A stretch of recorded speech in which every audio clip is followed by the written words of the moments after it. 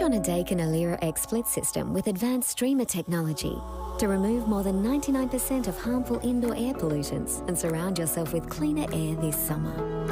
Daikin, perfecting the air. Slept through Melbourne's most recent burst of rain. It was gone by dawn, and the city went on to record another warmer than average maximum of 17. It did have a head start though. It only dipped to 13 degrees this morning, the highest minimum in more than a month.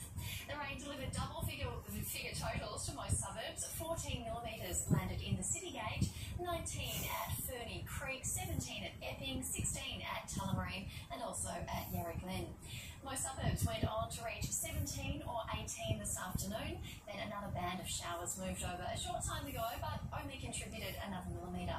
Central parts of the state recorded the highest totals. 56 millimetres fell at Seymour, 41 at Mangalore, but there's only been modest totals since 9am, generally less than 10 millimetres. Mildura recorded the highest maximum, a top of 22, but in the east, Rutherglen, Wodonga, and Orbost were close behind on 21. The satellite picture shows how extensive the system is, delivering rain from Queensland right through to us here in Victoria. Tomorrow it will contract to the east, so most of the rain will fall in New South Wales, but there will also be some continued falls through northern parts of Victoria. 45 millimetres tomorrow, another 20 on Sunday, 30 millimetres for Canberra tomorrow, just a light shower or two in Brisbane and 24. A lovely day for Hobart, partly cloudy and 18, a top of 21 in Adelaide and 24 in Perth. Showers will persist through the north with up to 10 millimetres through the Mallee and also through the far east, but and partly cloudy, and most of the state is heading for the high teens and low 20s.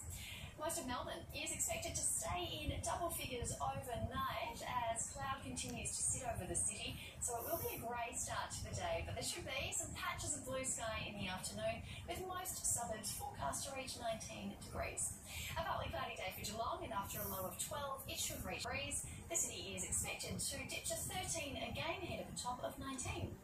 A brighter day for Mother's Day. A cloudy morning, then a sunny afternoon, warming up to 18. A partly cloudy top of 20 on Monday, 17 degrees on Tuesday and also on Wednesday, 18 on Thursday, and then back down to 15 next Friday. But we do have a lovely mild weekend to look forward to, mostly cloudy tomorrow, but nice and mild, a top of 19 degrees then more sunshine on Sunday, and some nice weather for the Mother's Day Classic, Alicia. Yeah, very good news. Good luck to everyone running as well. Thank you, Maddie. That is nine news for this Friday. Ally's up next for you with a current affair. We hope you have a great weekend